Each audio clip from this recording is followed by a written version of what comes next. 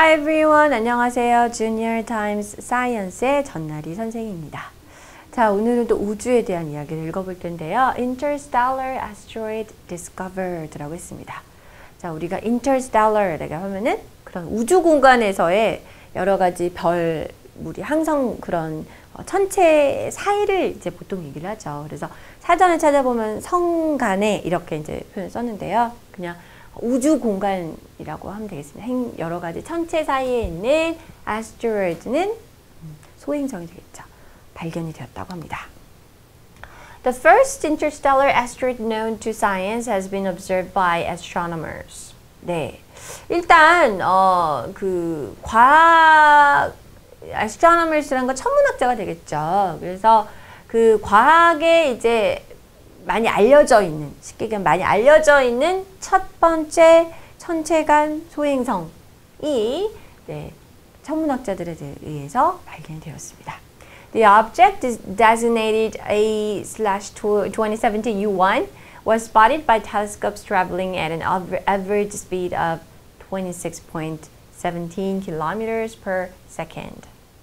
자, 이름을 일단 일명 A 2017U1 이렇게 이름을 붙였는데 이렇게 이제 지정된 이 물체, 이 천체는 아, 발견이 된 것이죠. 포착이 됐습니다. 우리가 뭔가 이렇게 딱 어, 발견하는 것이죠. 그래서 텔레스콥으로 당연히 왕행공으로 했는데 초당 26.17km의 평균 속도로 운행하고 있는 그죠?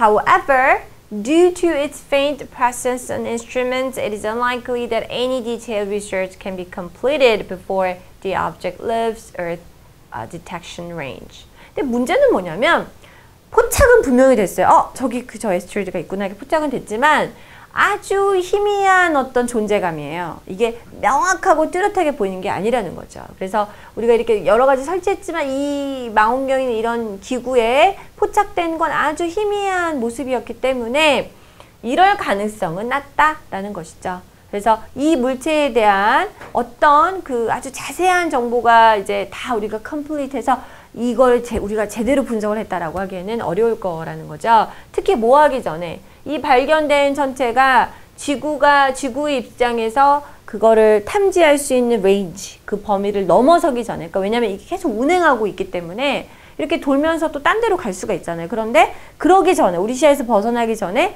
얘를 잘 분석해서 complete 하기에는 좀 모자랄 것 같다. 너무 희미하다라는 거죠. As such, 그에 따라서 바로 이제 이와 같은 이유 때문에 scientists are rushing to learn as much as they can before this happens. 이 일이 일어나기 전에 즉 지구의 detection range에서 벗어나는 이러한 일이 일어나기 전에 급하게 빨리 우리가 지금 보고 있을 수 있을 때 포착했을 때 빨리 연구를 하자 이렇게 굉장히 바쁘다라는 거죠. Asteroids are usually confined to their own systems and are usually caught in orbit around a star. 자, 그러면 에스트로이드가 뭐냐? 소행성이라는 게 뭐냐? 대개는 자기들 그들만의 그 어떤 시스템에 이제 딱 한정되어 있어요. 그리고 보통 한 별 주변을 그 궤도를 도는 그러한 곳에서 이제 있는데요. However, this asteroid has exotic origins beyond our solar system.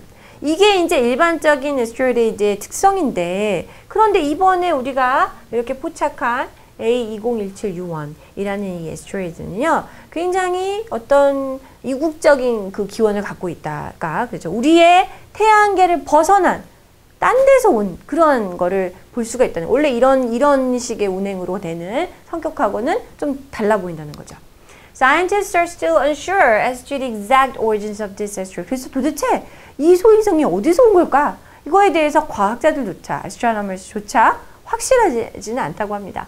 But they know that it seemingly came from the direction of constellation Lyra. 우리가 이제 천체 자리를 얘기할 때 constellation이라고 하는데 성문을 뭐 우리 뭐 우리말로 검은 고자리 라이라 그죠? 그래서 리라를 탄다라고 할 때 그래서 이 검은 고자리의 그, 그 별자리 거기에 방향에서 온 것으로 있다 보인다라는 거. 그러니까 자세한 건 알 수가 없어요. 도대체 얘가 어디서 왔다는 했지만 아마도 저쪽 자, 별자리에서 온 것 같다라는 것까지는 사람들이 이제 얘기를 하고 있다는 거죠. What they have also discovered 또한 발견한 것은 뭐냐면 is very small is a lone traveler between stars. 그래서 어, 그리고 또 하나 이제 확실한 거는 굉장히 사이즈가 작고요. 그 다음에 그 여러 별들 사이를 막 돌아다니고 있는 약간 한 일종의 로너, 혼자서 떠돌이가 되겠죠. 그래서 아마 그런, 그러니까 굉장히 독특한 거죠. 다른 에스트로이드와 차별이 되는 부분이라고 할 수가 있겠죠. Astronomers hope that the study of the object will shed further light on this rare phenomenon. 하지만 이거가 이제 이 에스트로이드가 이렇게 론 트래블러든 뭐 어디서 왔건 constellation Lyra에서 왔건 이러한 이 소행성 자체를 보는 게 굉장히 희귀한 일이기 때문에 이번에 이 물체를 갖다가 연구를 하는 것이 이러한 아주 보기 드문 현상에 대해서 우리에게 좀 더 앞으로 더 밝혀줄 것이다. 어떤 우리에게 좀 알려줄 일이 있을 것이다. 더 많은 거를 알려줄 것이다. 라는 것을 바라고 있습니다. They also hope that um, adequate measures can be established in the highly likely event of future objects appearing. 그리고 또 이번에 이제 이를 토대로 해서 앞으로 어떤 천체가 다시 나타나는 그런 사건, 아주 이러한 것이 이러 이러한 게 일어날 가능성이 높은 이러한 가운데 아주 적절한 측정 방식 같은 게 확립될 수 있을 것으로 바라고 있습니다라는 거죠. 네. 뭐든지 처음이니까요. 그죠? 그 다음에 또 우리가 그거를 비, 그 지식 위에다 build up 해가면서 정보를 얻을 수가 있겠죠. 자, 우리 한번 writing practice 한번 해볼까요? 과학자들은 이 일이 발생하기 전에 그들이 할 수 있는 가능한 한 아주 급하게 빨리빨리 알아가자라고 하고 있다. 라는 게 우리가 아까 초반에 나왔었죠. 그래서 지구에서 detection 할 수 있는 그 범위, range를 벗어날 수도 있기 때문에 그 전에 얼른 우리가 이걸 연구를 해서 정보를 수집하자라는 거였습니다. So scientists are 뭐 우리말로 앞다투어 한다라고 하는데 앞다투다라는 말을 막 서로 하려고 한다 이렇게 직역하지가 않고 영어로는 굉장히 급하게 서두르다라는 표현이 있죠. 바로 rush인데요. 그래서 are rushing 이렇게 썼습니다. rushing to learn. 그죠? learn이라는 거는 뭔가를 알아내는, 학습을 하는 거죠. 그래서 know도 있겠지만 배우는 거니까 어, 이게 이런 거구나라는 걸 알아가는 거니까.